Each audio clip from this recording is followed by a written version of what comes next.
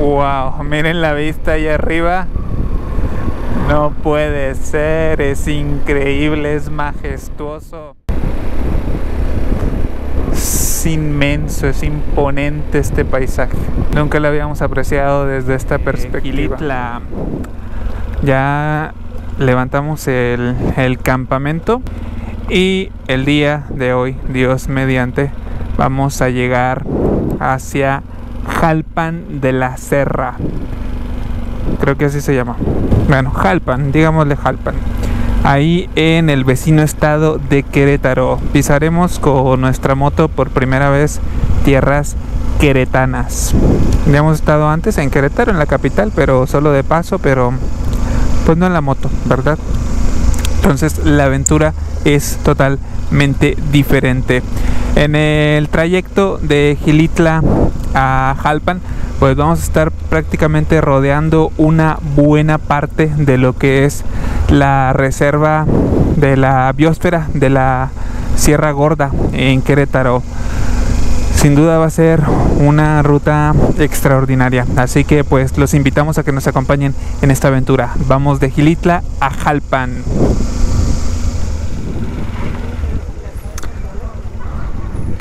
Estamos pasando en este momento por la entrada al famoso castillo de James Edwards, creo que se llama.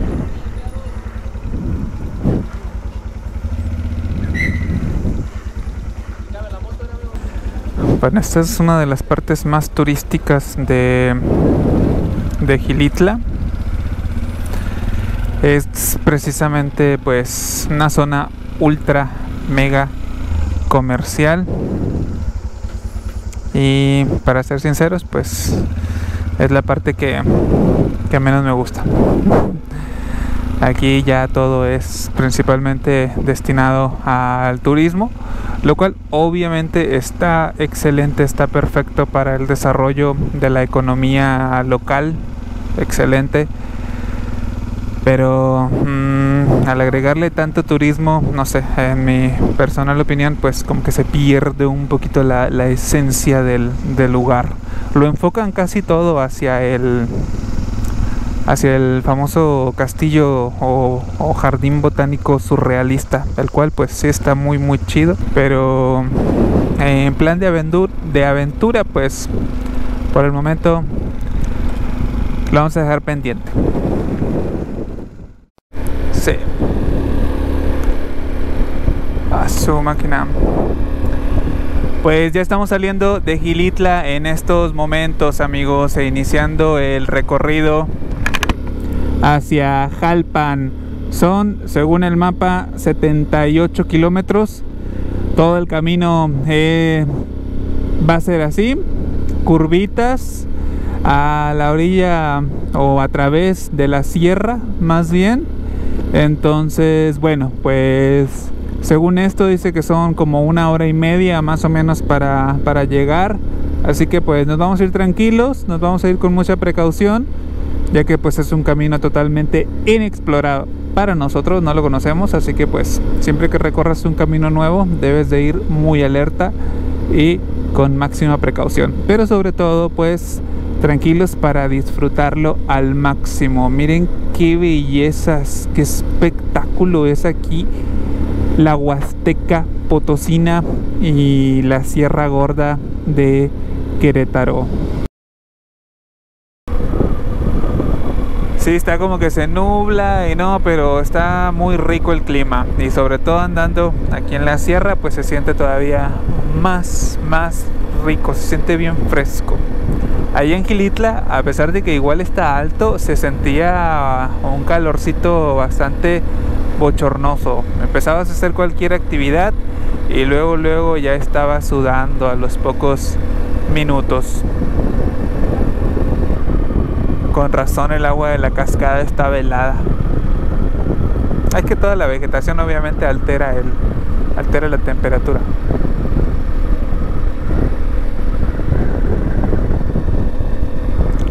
Ah, sí, estaba buenísima. Qué belleza de la sierra queretana.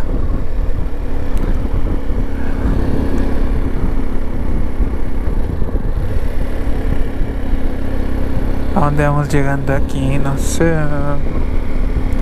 El retén.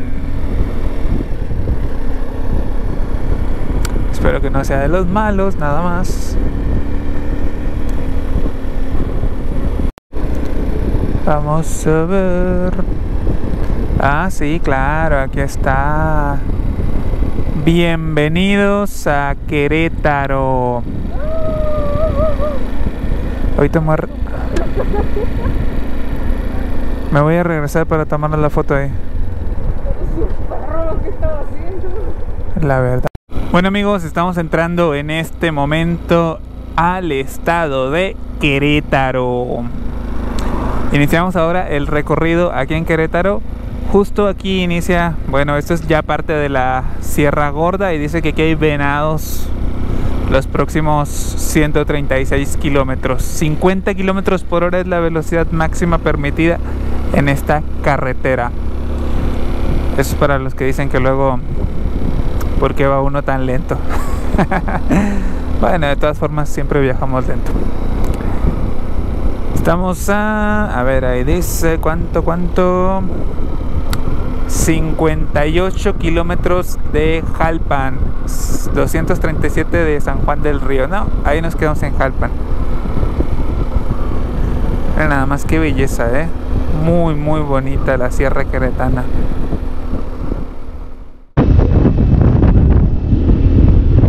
Oye, se ven así como boscosos, así como como allá en Estados Unidos, así mira.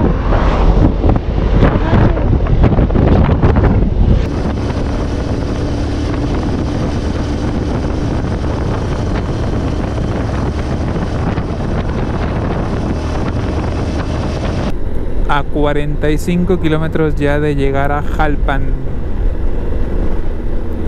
Nuestro destino del día de hoy. Uy, su máquina. Estas curvas tan están perritas, ¿eh? Es pura bajada. Sí, como siempre nos calla en la boca. Dice uno, ah, ya está tranquilo el camino. Sopas. Exactamente. ¿Qué decías? Dice el camino.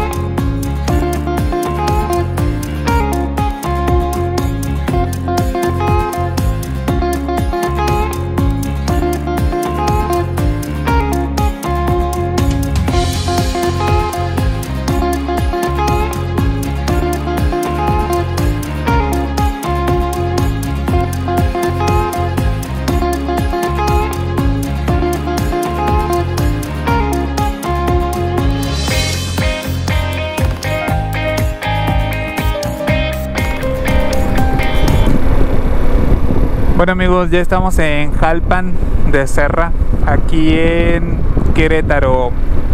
Ya nos hemos instalado aquí en un camping eh, que se llama Cuatro Pulques. Es un concepto uh, pues muy innovador.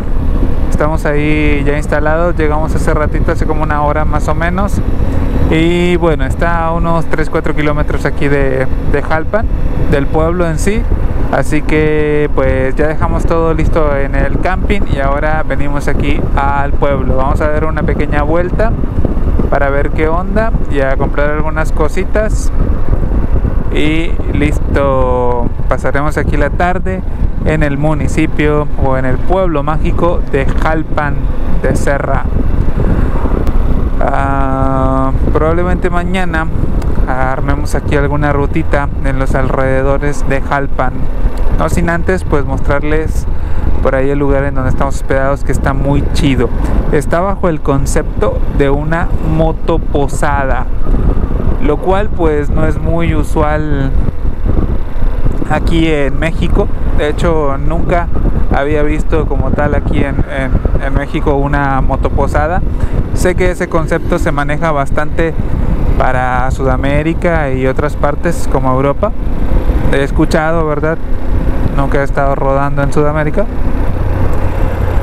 Pero mm, bueno, pues es muy interesante que, alguien lo inicie aquí en nuestro país.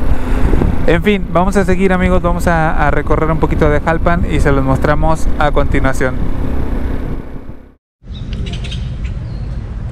Ya estamos aquí en la plaza principal de Jalpan y bueno, lo primero que hemos hecho al llegar, estamos pues cansados y con bastante calor, es comprarnos un heladito.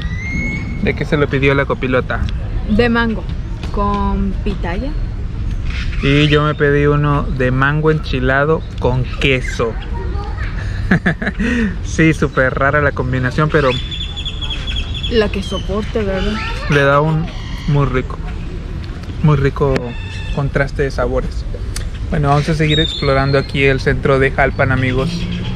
Seguimos en la comedera, amigos. Ahora ya nos compramos un, un esquite o un elote en vaso, como le digan ahí en su zona y pues lamentablemente comprobamos una vez más que elotes como los que hacen en la frontera de Tamaulipas, así como los que son de Reynosa o Matamoros, no hay.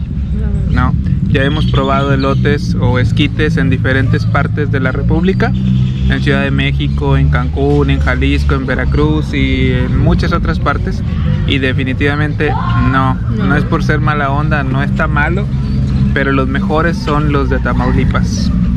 Los elotes de Reynosa y Matamoros son los mejores de México. De hecho, están bien preparados y no es, no es nada más que tenga un elote en sí, nada más que trae aderezo, mayonesa y una salsa que es muy eh, curiosa porque es salsa de la que pica y la que no pica es espesa, es una masita que, se forma y no lo hemos encontrado ni probado en ninguna parte de México. Igual los de la CDMX están tan chidos, pero no, no se comparan. Bueno, ni modo, nos lo vamos a tener que comer porque ya lo compramos. No está malo, o sea, malo no está, pero hay niveles. Amigos, muchas gracias por ver el video. Los invitamos a seguirnos en Instagram y Facebook. Si les gusta el contenido, consideren suscribirse. Nos ayudarían mucho con un like y comentando. Hasta la próxima.